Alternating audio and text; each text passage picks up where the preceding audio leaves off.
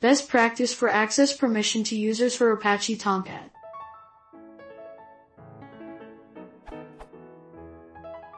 I have a Linux box being shared by various developers. They want to deploy their WAR files in Apache Tomcat which in shared location, slash op slash tomcat.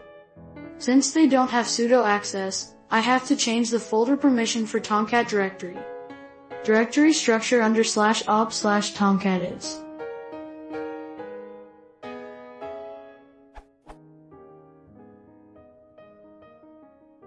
What are the best practices in above situation? Most suitable access permission to user? For time being, I have changed permission to 777 to webapps and logs.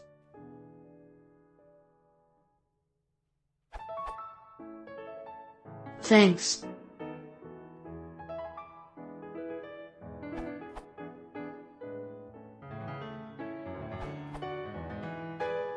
I do it this way. We put the Tomcat user as the owner of the folder of Tomcat. Users cannot modify the configuration of Tomcat. Users can modify the other folders.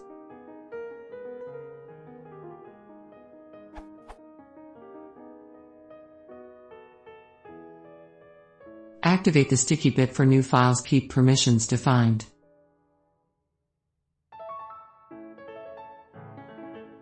Finally, we add the Tomcat group we want users who can use the Tomcat.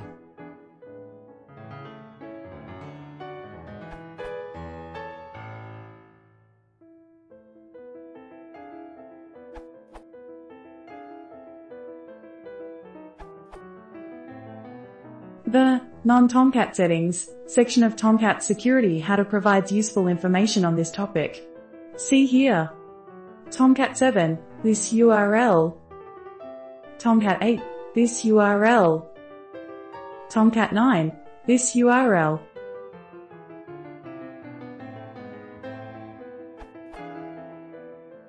Tomcat should not be run under the root user. Create a dedicated user for the Tomcat process and provide that user with the minimum necessary permissions for the operating system.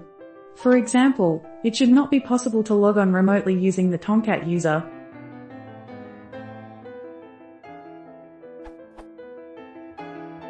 File permissions should also be suitably restricted.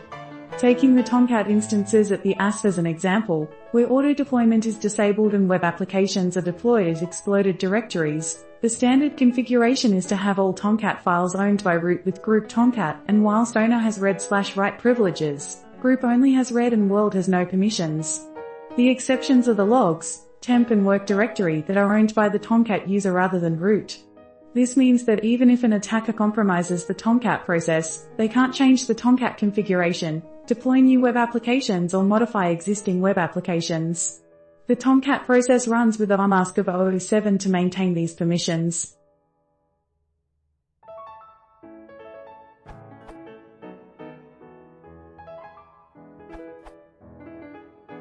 You need to follow the principle of least privilege. The server, probably www data, but you'll need to check, needs to be able to read most of the files, let's say all, and write in the logs only. The web developers are allowed to write where they need. Set the sticky bit on the directory so that only the owner of a file can delete it. In practice you need to create a group, for instance webdev, and add all developers and the server to it, usermod of webdev and LT, user and GT, or usermod a webdev and LT, user and GT, depending on your Linux flavor.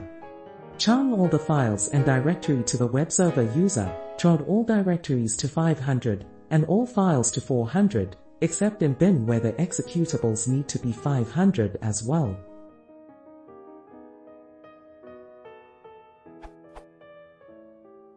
Grant write permissions on slash op slash tomcat to the group, that would be 570, and set the sticky bit so that they can remove only the files they own chart 1570.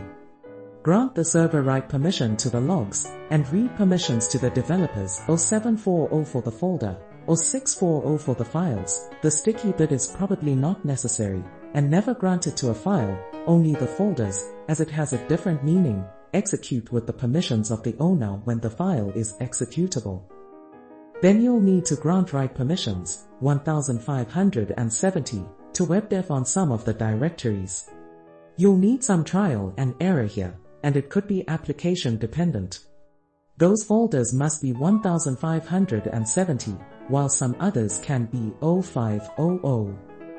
The developers will need to grant read access on their files to the group so the server can read them, that's 640, and also execute on the directories, that's 750.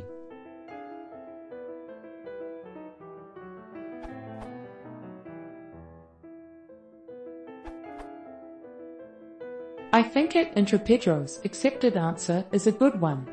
It's worth pointing out that using a package installer can save a lot of headaches, at least for Tomcat 7 on Ubuntu. apt-get install Tomcat 7 produces a more standard set of installation directories are slash etc slash tomcat 7 for configuration files slash var slash lib slash tomcat 7 for core libraries and slash user slash share slash tomcat 7 for shared resources.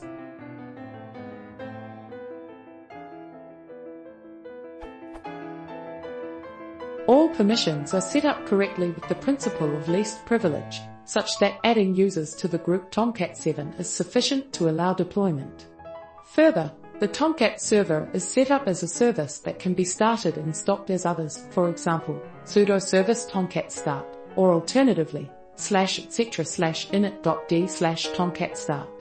Tomcat starts on reboot automatically, and there's a restart command. I am sure there's an equivalent yum package for all slash CentOS users. And yes, there's a homebrew installer for local OS installations. If you're having problems, there's a nice utility in slash user slash share slash bin called configtest.sh that reports if there are permissions or other errors. Note, there's an open bug that suggests adding some symbolic links. We're still running Ubuntu Trusty 14.04. For those running more recent versions, I believe there's a Tomcat 8 apt-get repo.